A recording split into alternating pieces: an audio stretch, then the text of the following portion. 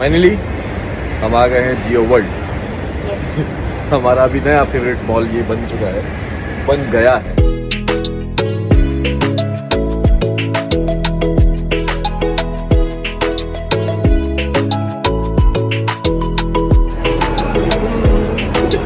Actually अभी जैसे जैसे वक्त करीब आ रहा है तो डॉक्टर ने एक लंबी लिस्ट एक लंबी लिस्ट जो है वो थमा दी है दीपिका का हाथों कि आप जब हॉस्पिटल आएँगे डिलीवरी के लिए तो हमें आपको ये सारी चीज़ें लगेंगी। तो आज छुट्टी है तो मैंने कहा चलो आज लेके रख लेते हैं, एक बैग बैग दीपिका ने पहले मुझसे बोल दिया है कि शोएब,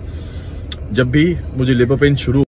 तो जैसा कि आप लोगों ने देखा फ्रेंड शायब और दीपिका इब्राहिम ने फिर से बहुत सारी शॉपिंग की क्योंकि हो, हो सकता है अभी रूहान छोटा है बट उसके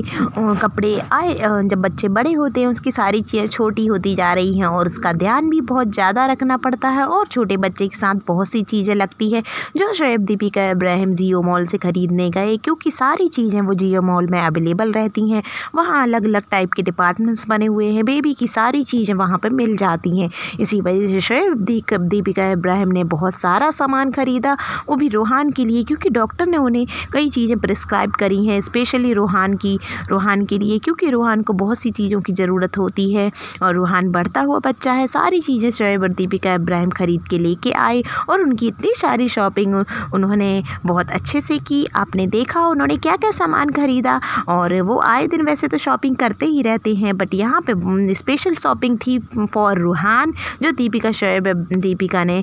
ख़रीदी और शोएब ने उनका पूरी तरीके से साथ दिया और ये बहुत बड़े ब्रांड से इन्होंने लिया है, जो कि मदर केयर ब्रांड है, क्योंकि Dipika Ibrahim mother care brand के कपड़े वगैरह यूज़ करती हैं। आपको कैसा लगा ब्लॉग अपने कमेंट्स में ज़रूर बताए। वीडियो को लाइक शेयर